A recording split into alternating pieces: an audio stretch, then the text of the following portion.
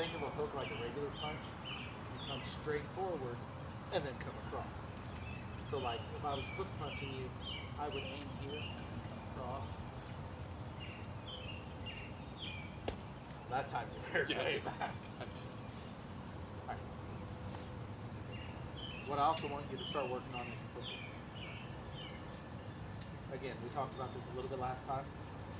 Never have your feet together or even on the same line. You want them to be on diagonal lines at all times. Because if I'm on a diagonal line, but my line is to your opponent, if you push me straight that way, I'm going to fall over. But as long as my diagonal is one point towards you and the other one back, I can take damage, I can rock, I can sway, bob and weave. So with your movement, you always want to step with the far foot, whichever direction you're going. Step with the closest foot and drag the far foot. So if I'm going to that direction, step and drag. If I'm circling around you, step and drag. Same if I'm going the other direction, step and drag. Always keep my spacing, always keep my foot good foundation. So what we're going to do now is we're going to do real-time sparring but I'm not going to strike back unless you give an opening. I might do like a tap or something, just to let you know, hey, you left that open. Unless I'm tapping. But these are going to simulate openings in a match. Let's say I drop my hand, you would throw a jab right there to hit me in the face, right? So that's what this simulates.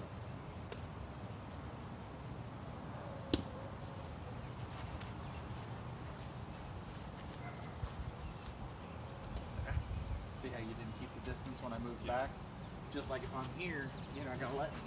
If I'm closing it fast, you'll close it, or you'll back up quicker.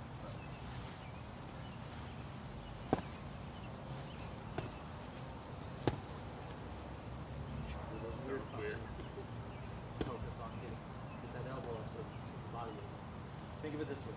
Extend your arm like you was doing a hook punch. Because of the torque, if your elbow is not chasing your hand, you lose power. Right. But if it's here, all of the force is being shoved straight that way, being driven by your elbow. Whereas like this or this, you get a little bit of lateral movement.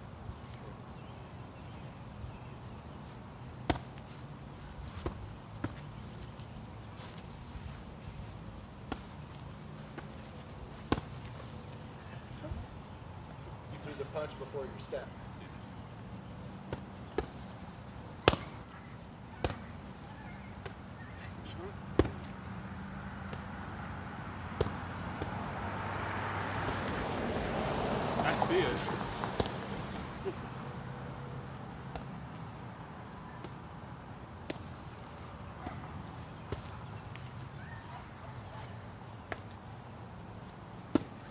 Dang it. That punch I suck at. Yeah. I really do.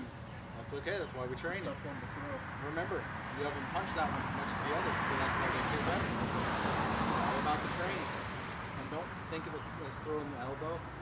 Think of it as extending the punch, and then when you get to the right angle, come across. There, that was a good one. Like really good. That was your best hook yet.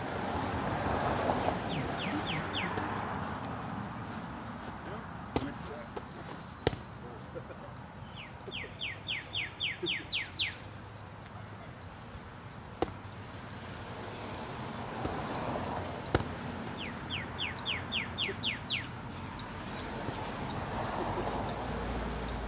Ah.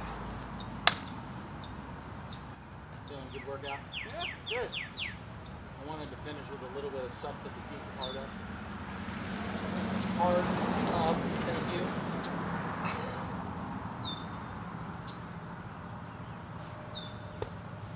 Alright, now I'm just going to call it.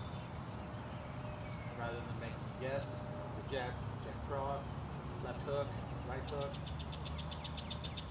So, left hook, left hook, left hook, straight, right. Jab. Back up a little. Jab. Jab cross. Jab cross. Jab cross. Before you get off the top, now flip it out on the bottom.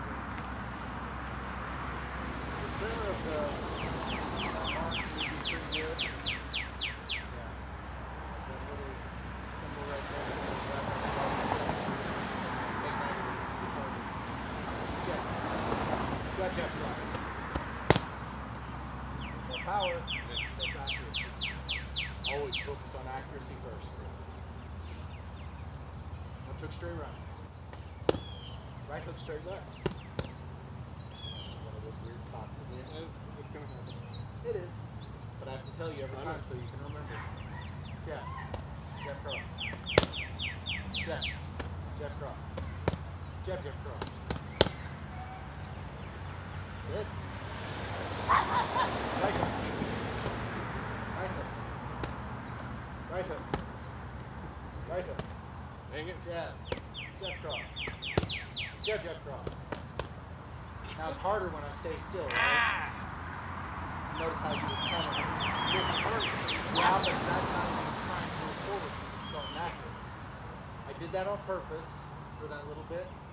One of the things that we talked about is keep your movement going.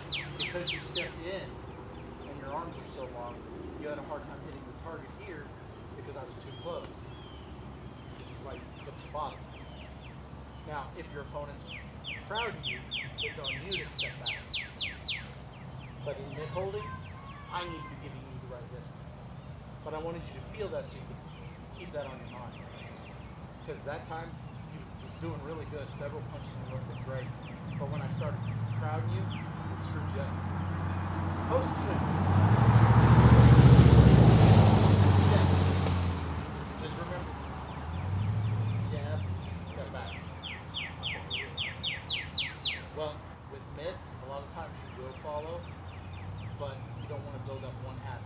You want to watch your opponent, and if you jab and move back, then follow. If you jab and they don't move back, then you move back, so that you can keep distance. Give me a jab cross. Give me a jab jab cross. Cross. Cross jab. Good. Jab cross. Jab cross. Still kind of doing this Rex punches. Don't be afraid to really extend and put your arm in. Once we get you a pair of gloves, then really lay it, and I'll give you a better pair of hands. Really cheap. Them. Cross. Jab cross. A lot of good mitts are actually curved, which will make it easier to hit. Cross jab. Cross jab. Jab cross. I did. I messed up. It's the wrong target. I messed. I bet you the wrong one. I said jab cross and held this one out. Uh huh. You, you did what I said instead of what I did. Like you said last time, show a target. Right. Where it's at. I wasn't watching for the target. I was looking so Right.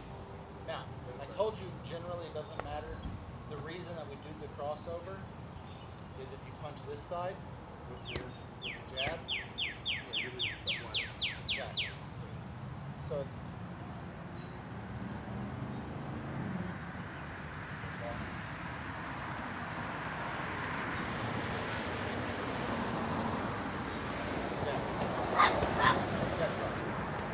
Rear leg front. It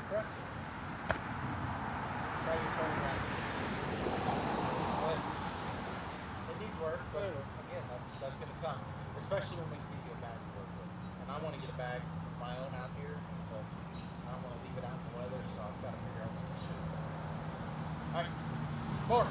More, more, more lead leg. You need to rock back. There you go. Alright, lead front. Jab cross. Rear front. Jab cross. Cross jab. Lead front. Oh, perfect. Jab cross rear front. Remember, leg reaches longer, so when you do that combo, it's jab cross, step back. Jab cross, rear front. Watch out for the dog. Nice. Those are slick. Those are like stepping in a water puddle. I bet. Putting the root system in. yep. Good Whoop. lord. Almost ate it. Remember, if you fall, up, lap. Whoop! Ah! Sell it. Sell it. Jab cross. Cross jab. Jab cross, rear leg turning around. Good. Now we also have Muay Thai kicks, which are knee kicks. So those will be good for you. I can't take it to his knee right now still Well, good. But you can do Muay Thai kicks to the leg, to the hips, or to the body. Now, we don't spar with Muay Thai kicks, but we train them. Because out on the street, if I break your leg, you won't chase me. Absolutely. That's that's simple. And when I've got tree trunks and my shins are tough enough that it doesn't hurt me, if I was against someone like you, no offense, the first thing I'd do is go high to get your guard up, and then I'd just go right through your knee. It's the first thing I would do.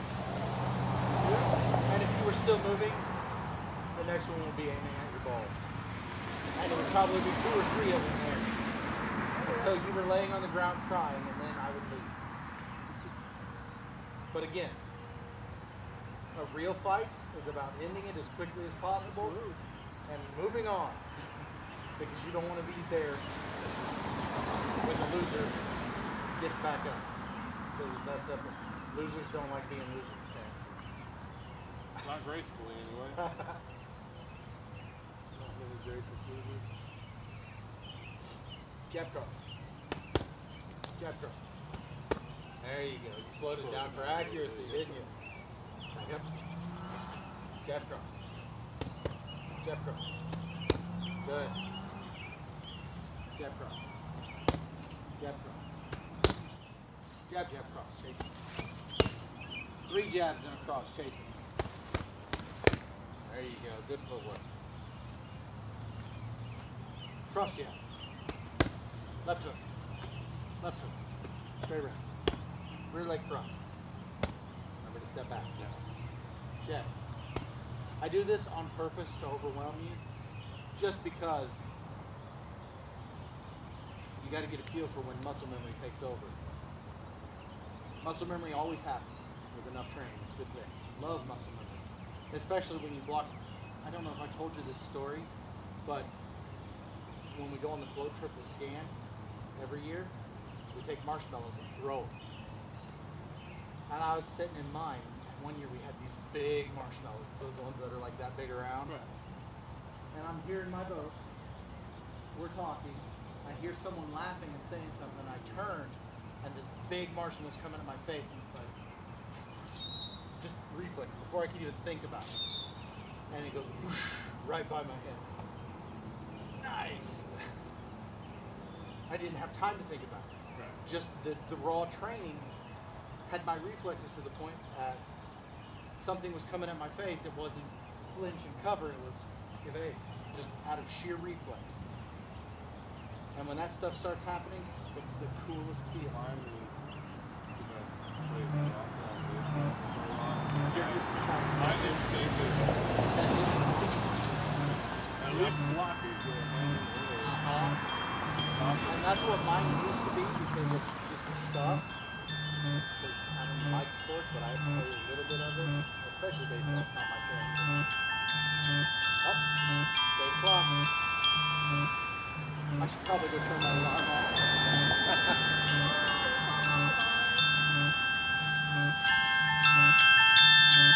Dismiss. Come here. I hit dismiss, but it's still going on. But the buzzing is vibrating the screen. Look what it's doing to the video. Wow. Yeah. That's so cool. Okay. It must have just faded as I hit it. All right. You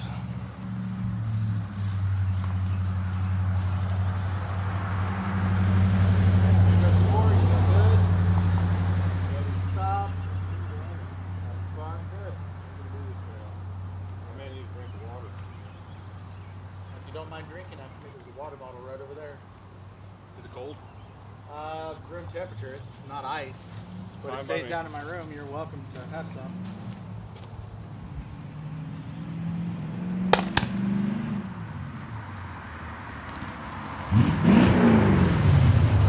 Ooh, pretty. I like the color too. Pupper, come here, Pupper. Pupper, I'm gonna get you. Yeah, he took off. Oh, that was funny. Eddie's just chasing you. Did I almost get you?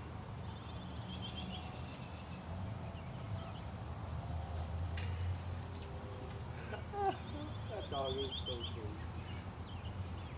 I see you didn't learn your lesson about sticks. It's also a good kick. Back kick, side kick. I'm okay with the back kick. You're probably okay with the mule kick. The side, the back kick's different. The side kick is lead leg front side. Back kick is a spin side kick. The mule kick is. All three of them are super effective. I feel like I can do the back kick. Yeah. That's because the spin helps you get that leg elevated higher.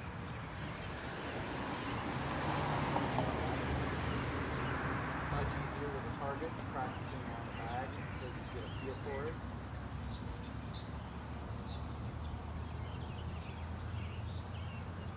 Somebody's TV is really loud now.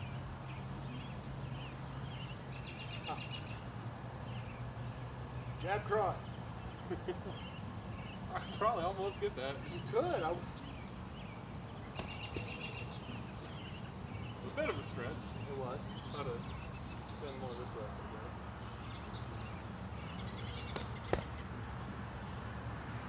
Jab. Jab.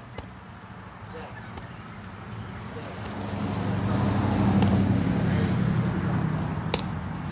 Jab. Jab, jab, jab. Good. Don't lean forward too much. Remember, use your feet close to this, not your head. You want to Take it off. Jab. Jab cross. Cross jab. Left hook. Left hook. Left hook. Left hook. There you go. Get all the way to it.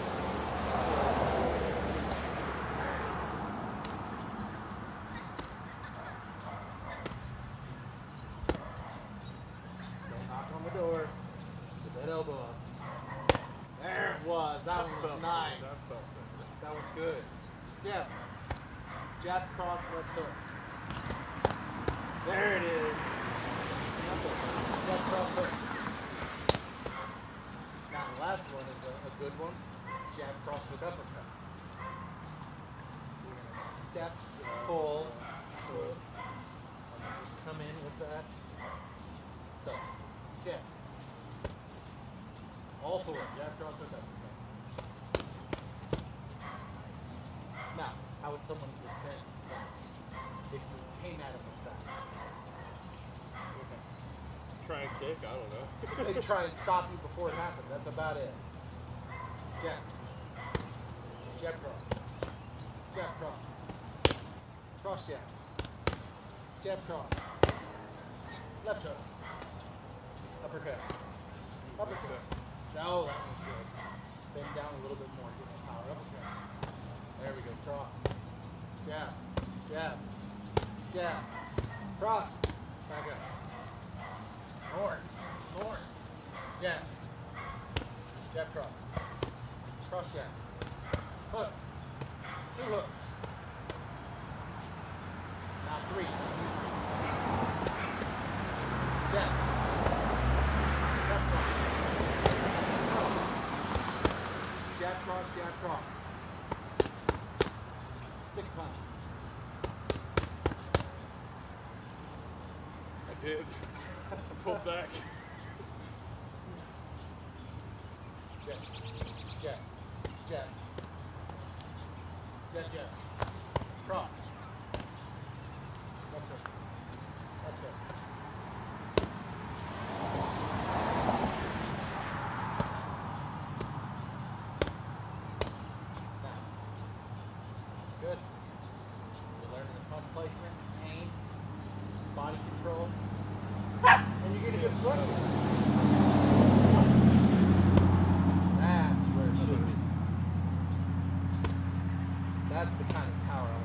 Don't miss.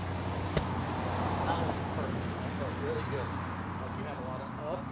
It was a lot of arm, but I felt a lot of leg in there too.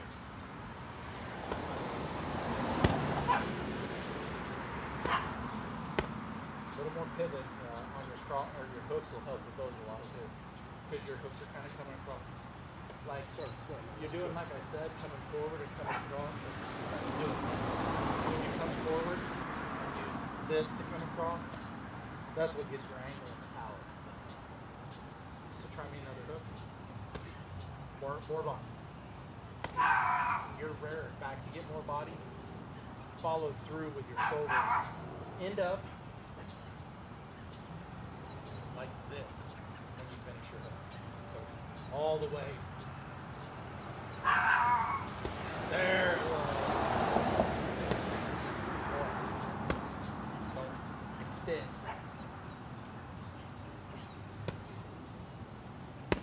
There we go.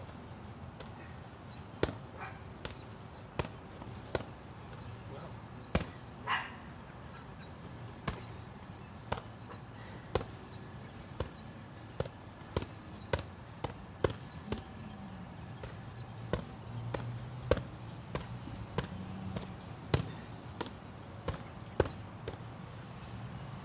Now the next part of your training, I'm going to add in knee throwing hooks, and you're going to be ducking under them. And all that'll be is your fighting stance. I'll just come over. And all we need to do is duck straight down. So your good fighting stance, goes forward, just go straight down. A little more. You got to go all the way up there. Now don't go too far. And don't lean forward. I know it's it's extra difficult for you, but try to go straight down instead of down like this put your head towards me. So I'm gonna go slow, not to the side, straight, just like that. So when I you go like no, not to the side, straight down. Straight down. So that when I go over, now after I go over, take that arm, twist it back. So you to throw the slow hook and then duck under and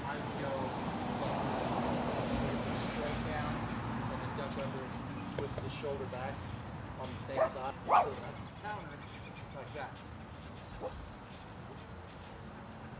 Like it was the other hook. Go down.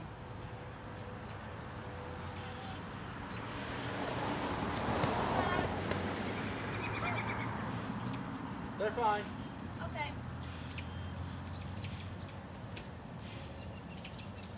Sorry.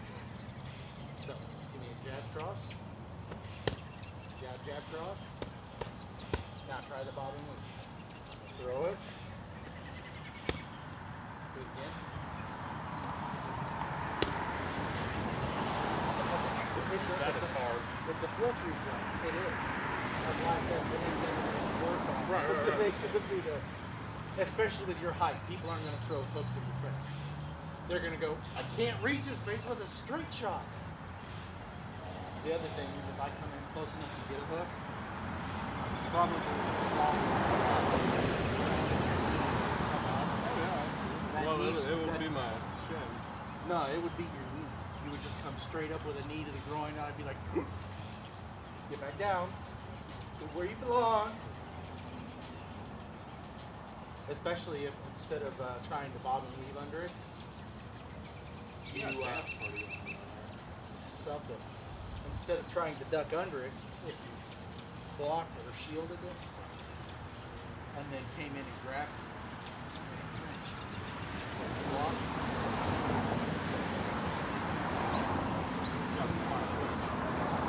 This is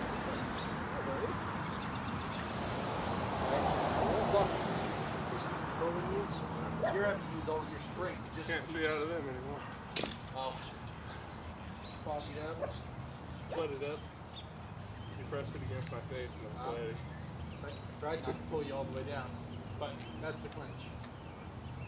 When we, when we work clinches, which I'm have to work on, I would come in, I'd pull you down, right?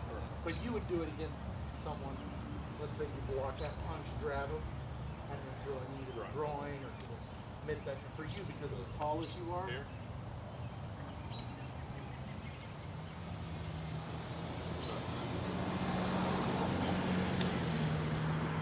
squeeze your arms together. There you go.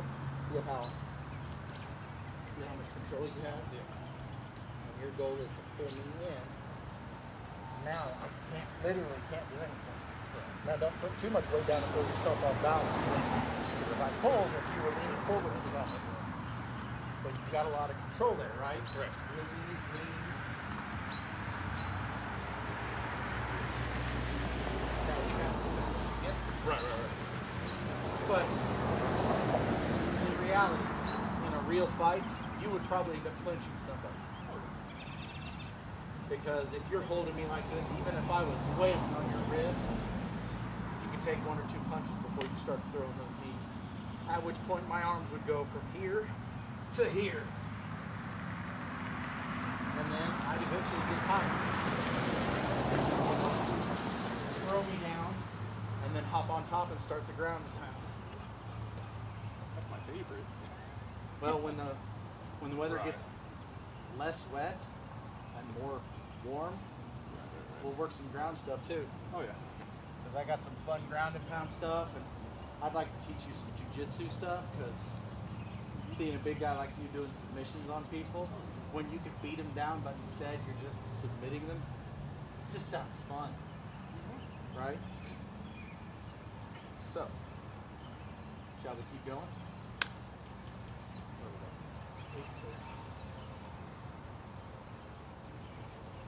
Knee jab. Cross. Jab cross. Cross jab. Jab.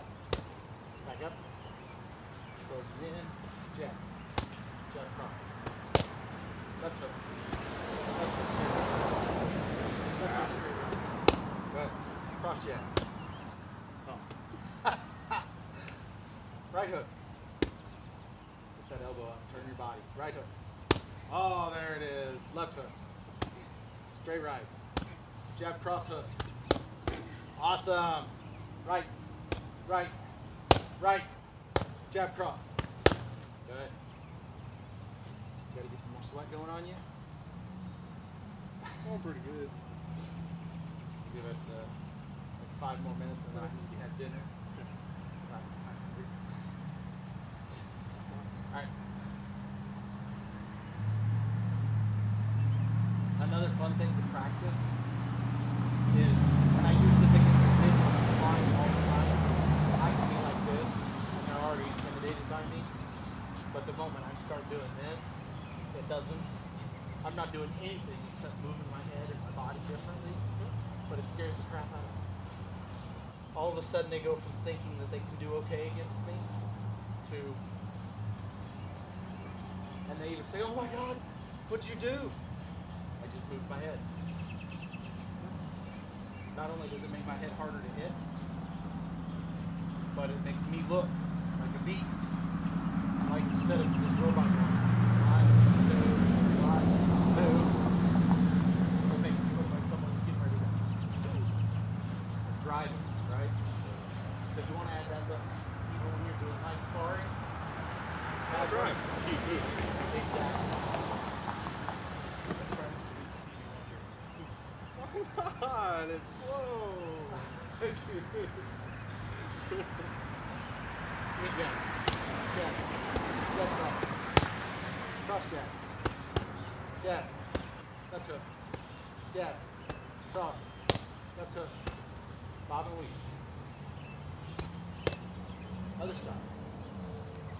Ah, I went the wrong way. That's why you practice both sides. What are you doing, dog? sitting there waiting on someone to walk by so she can run a bar to chase. I guess. Dogs. I love dumb dogs so much. Those are the best things. Oh, the lower back. You're probably on the side. If you start to feel that, let's see if you